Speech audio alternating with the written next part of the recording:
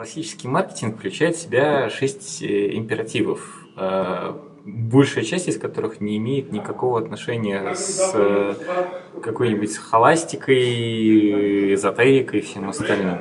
Э, первый – это мы вообще определяемся с тем, на каком рынке играем, с чем выходим. Второй – образмериваем этот рынок. Третий – нацеливаемся. Это все вполне себе э, математические, но на самом деле еще социологические истории.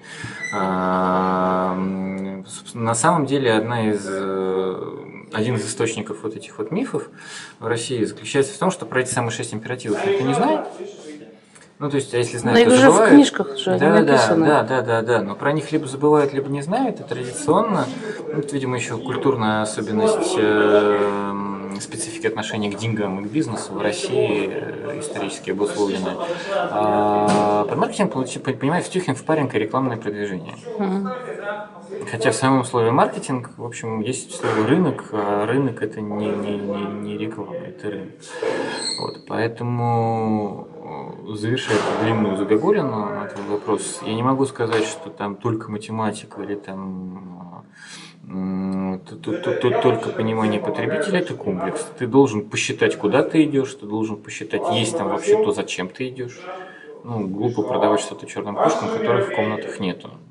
Хотя продавать и покупать А, на самом деле, понимая, куда ты выходишь, с чем ты выходишь, э, сколько ты оттуда можешь получить, э, что для них важно и с какой коммуникацией к ним обратиться, в общем, вот и вся но в этом, в этом смысле, если мы говорим про медиабизнес, учитывая, что в России не так много медиабизнеса, как бизнеса, тогда мы говорим о том, что вот те маркетинговые истории и технологии, которые ориентированы именно на бизнес, нам сейчас для медиа, ну, они не востребованы, не нужны. Или это не так? Нет, они абсолютно востребованы, они нужны, но только, к сожалению, э, редакции, э, люди контента, в общем-то, люди контента, они находятся примерно на позиции промышленных компаний 50-х, 60-х годов. А, они находятся еще в парадигме, что их контент настолько уникален, ну как же, они же его производят.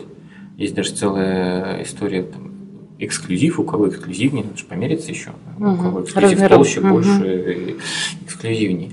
А эм, как бы это перестало быть дифференцирующим фактором. То же самое, как когда-то было с машинками. Был Фрутте, он был уникален, за ним шли.